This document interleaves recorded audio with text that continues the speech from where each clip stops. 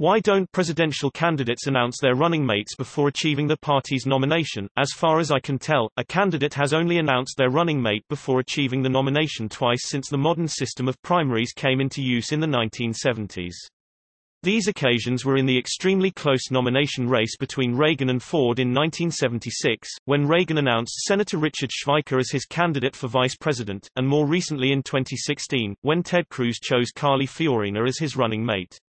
Notably, both candidates were ultimately unsuccessful in achieving the nomination. Clearly it is permissible to do so, so why don't candidates generally do this?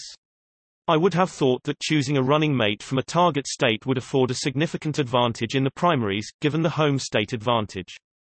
It's an interesting question you're raising.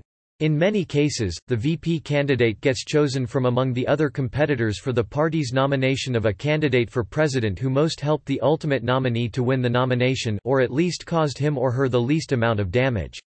We saw the beginnings of this just after the South Carolina Democratic primary this year when Pete Buttigieg and Amy Klobuchar both dropped out and endorsed Joe Biden, as well as a couple days later after Super Tuesday when both Mike Bloomberg and Elizabeth Warren dropped out of the race.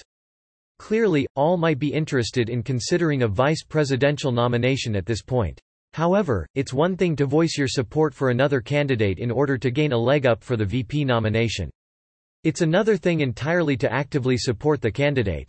I suspect in most cases that the nominee wants to actually see what the VP candidate brings to the table in terms of on-the-ground support, and they can only see that after watching how they perform in the rest of the primaries up until the convention.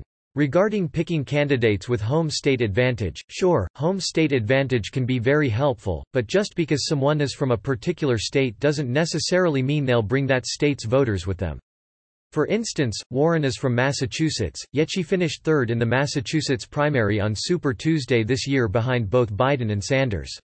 In order to have a home state advantage, you also have to be able to bring victory in your home state. Also, having a home state advantage isn't equally important in all states. For example, Bernie Sanders has a home state advantage in Vermont, but it's very unlikely that Vermont with its three electoral votes will be the difference maker in November. So if Biden wins the nomination, putting Sanders on the ticket due to his home state advantage in Vermont wouldn't be a good idea from the perspective of his home state advantage. He might or might not bring other benefits to the table, but home state advantage isn't one of them.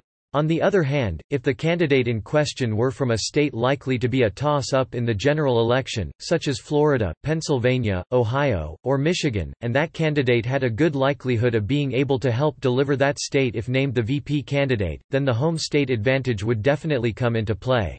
Since this is more of a rarity than a commonplace event, home state advantage is usually not much of an advantage.